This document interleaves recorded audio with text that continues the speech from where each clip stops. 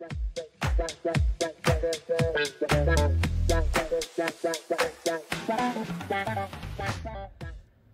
my YouTube friends, this is my British Computer Guy here with a video for you. So today's video didn't quite go according to plan.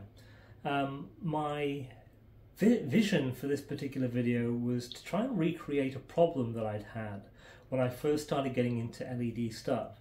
Um, basically what it was, I originally ran, my first project was to run some LED strips around the uh, ceiling of my office. Um, and it worked great to start off with. I was able to get everything up and problem, no problem at all. Power injected the back end and ran the wires up to the the entry point for the data. And as soon as I turned it on, the LEDs were flickering. Um, patterns weren't consistent. It was consistent all the way around, which was great, but I wasn't getting something. Something was off, and I couldn't. I couldn't. It took me a minute to try and figure out why. And with the help of Chris Maher, thank you, Chris. He's a really big YouTube guy into LED and WLED projects, and he's recently been branching out into other areas of LED goodness. So there's a link down to his channel in the description below. Be sure to go ahead and check him out. It's fascinating stuff, really good videos. He suggested um, putting a resistor in series with the data line. So I thought, okay, I'm not too sure what that would do because surely a resistor would reduce the voltage um, from that data output to the LED strip. So anyway, uh, it's only probably about 12, well less than less than 12 feet of data cable um, that I have from the ceiling to where the actual ESP32 chip is. So I, I, did what he suggested, and lo and behold, it actually worked. It corrected the issue completely, um, not had any more issues with it at all, and all the effects worked fine. So, after having been in LED for a few months now and been working with these things for quite a while, having built so many other projects, matrices, key lights, that kind of thing, I wanted to go ahead and recreate the problem I had and try and show users how you can maybe overcome it. Because there were actually two options that were presented to me at the time um, I was having the issue. One was the resistor, and it was a 100 ohm resistor.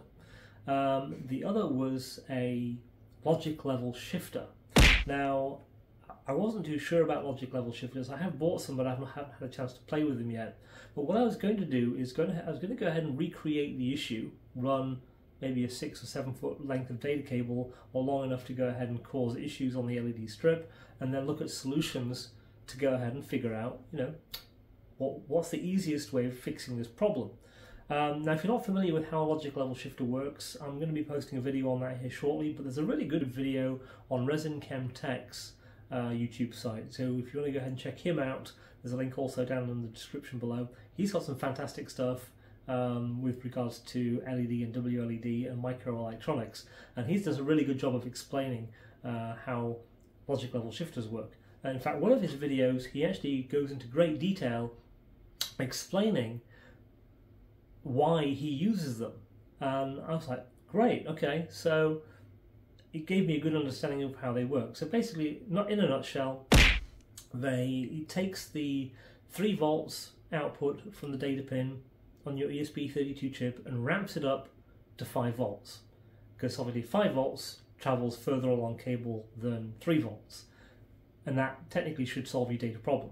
So my, my video that I was getting ready to go ahead and share with you was an experiment to go ahead and recreate the issue and show you some creative solutions to go ahead and fix it.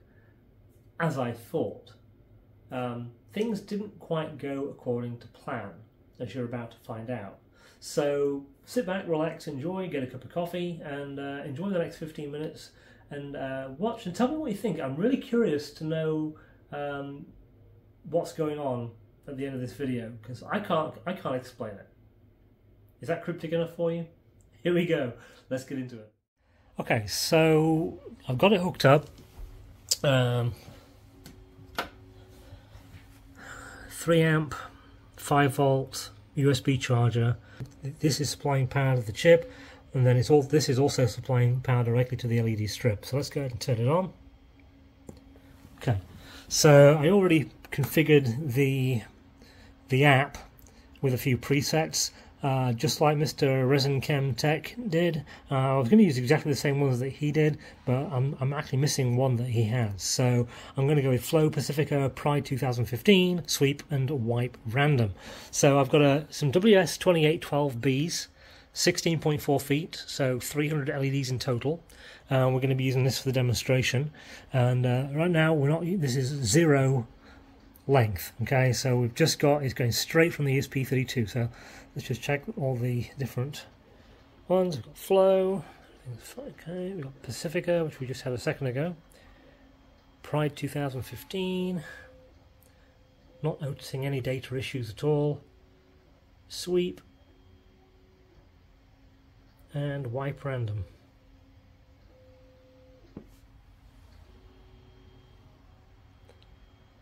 no issues. Okay, so let's go ahead and add, uh, let's say six feet, approximately six feet to the to the system. Um, I know he did three feet on his, but I've got I feel good things about this. Okay. So I couldn't find a three foot piece of uh, cable that I had cut to size. I've only got like 11, 12 foot lengths. So I'm just going to go all out and give it a try with a, with a 11 foot piece of cable. So we've got 11 feet of 18 gauge, three strand, or three core, sorry, uh, wire going straight to the LED strip. And once again WS2812 so let's go ahead and turn these on. Solid seems to work fine. Now let's go ahead and go through the these again. I'm sure we're going to see some sort of signal degradation but let's take a look. Okay. Well no signal no no nothing nothing obvious there. It looks like it's working fine. Let's flow. Let's try Pacifica. Yeah.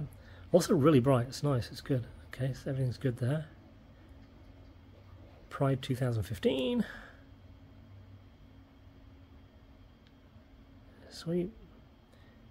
And wipe random. And I'm going to use the same presets on each of the tests. Okay, so that works fine. Hmm. Alright, so this is 11 feet. I mean, Mr. Chem Resin Tech managed about 3 feet with his before he had signal degradation.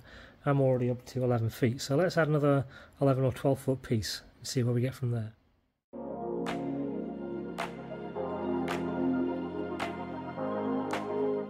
Okay, so let's go ahead and get into presets.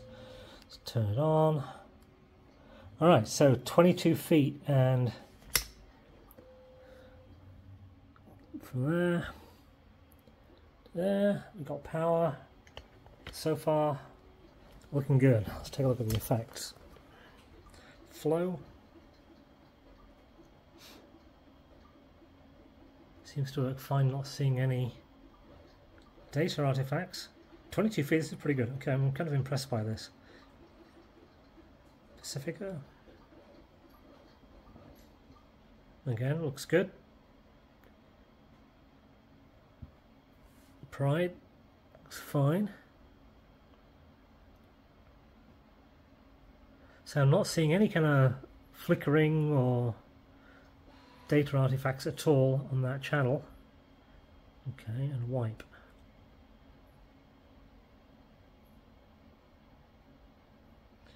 Yeah, nothing, pretty solid. Max brightness, We'll check voltages as well here in a minute, just to make just to see where we're at with that. So I'm sure at some point we're going to have some issues. All right, let's let's add some more cable to it. So we're at 22 feet so far. Let's add another maybe another 10, 12 feet.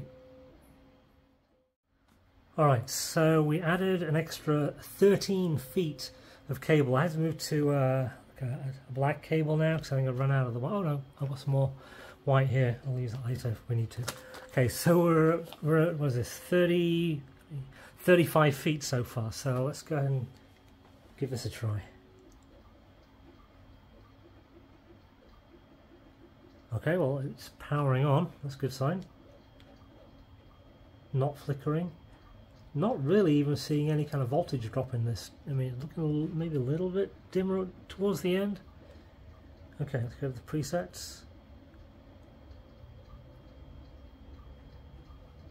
Flow's looking good. Pacifica looking good. Let's turn the out.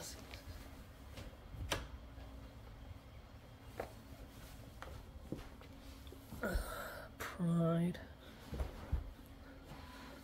Also looking good. No, no data loss. I'm, I'm kind of confused why he had such, why Mr. Resin Chemtech, Resin Chemtech had so many issues with his board. I mean, I'm at 35 feet. This is literally the data line is going straight from the ESP32 along 35 feet of cable into the the far end of that uh, this, this WS2812B LED strip. Okay, no flickering, no degradation, no voltage drop, no nothing. It's looking great.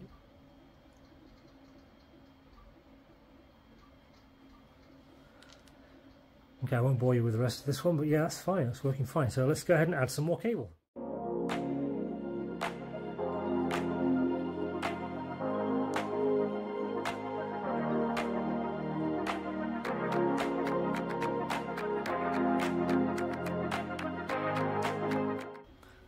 Alright, so we just added 16 feet. We are now up to a total of 51 feet from the ES direct output of the ESP32 straight run 51 feet all the way to the end of the LED strip. So let's uh, see how this goes. Let's try power up. Okay, so that looks fine. Uh, let's try the presets.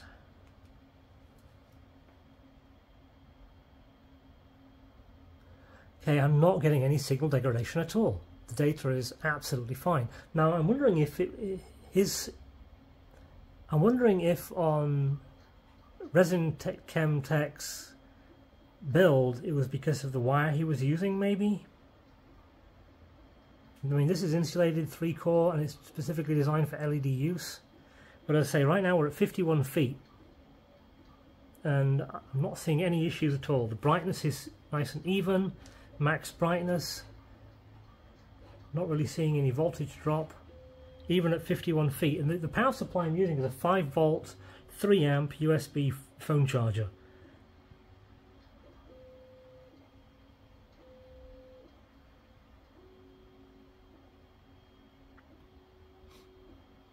Not seeing any flickering, no dropouts. No, nothing bad. Alright, let's go ahead and try a solid colour for, for giggles. Um, okay, solid color. Let's try white. Yeah, but yeah, there's literally there's no color degradation.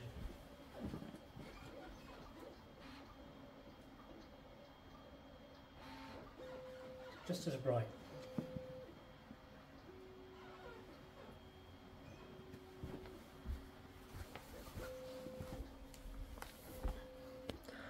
Uh, I've got one more piece of cable, I don't know how long it is, but we'll go ahead and add it to this and see if that does the trick.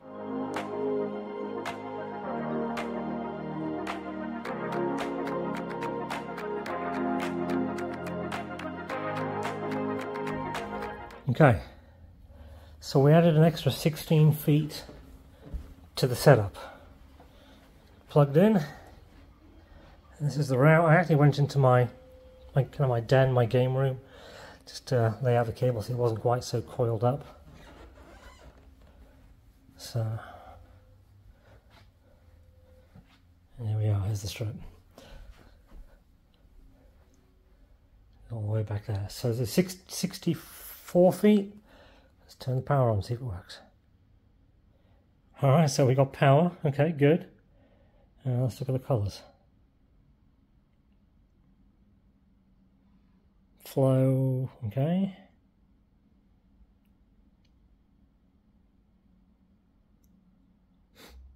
All looking good so far. Not seeing any kind of flickering or anything out of the usual, out of the ordinary.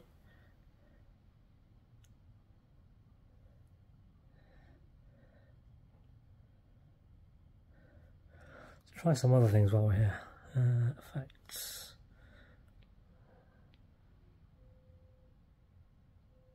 It's Chunchun. Color loop, yeah. Super bright as well. I mean, it's really bright. Let's go ahead and check the, uh, let's put on a solid effect and do white. Usually the camera can pick up better than the naked eye if there's any kind of voltage drop.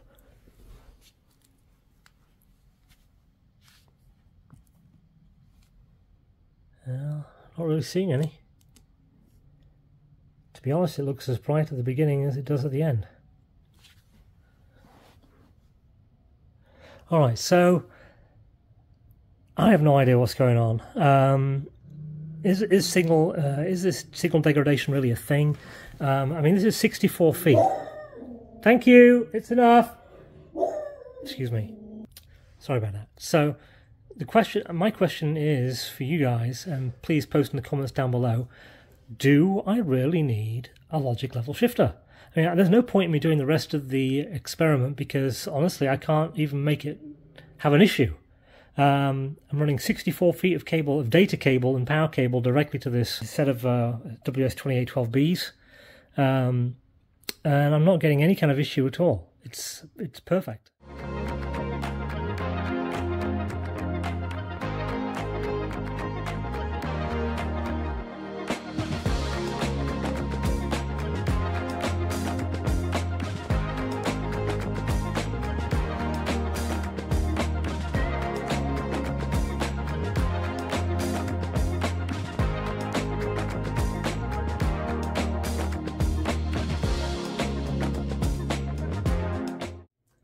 Okay, so as you all just saw, I could not recreate the problem.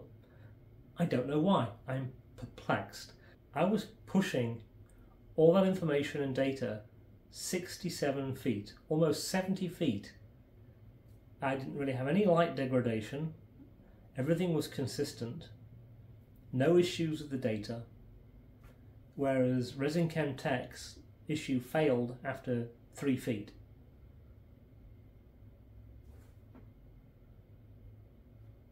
I don't know. I don't understand. I don't get it. Yeah, if, if you know the answer to why I wasn't having an issue, I, I couldn't recreate the problem at all. Um, I was really hoping I could. That way I could go ahead and get into logic level shifters. And I'm going to go ahead and do that. I'm actually going to go ahead and post my own video on logic level shifters, which is just specifically for that. I'm going to show you soldering, I'm going to show you how to, how to wire them up and give you the basics of what they do. Um, I know there are other videos online as well that deal with that, as I just mentioned earlier at the beginning of this video but uh, I wanted to create my own. So thank you to everybody who subscribed recently. I truly appreciate your support and uh, I'm looking forward to making more content for you guys to view. So you all have a fantastic day. Uh, take care and I'll see you in the next video. Cheers.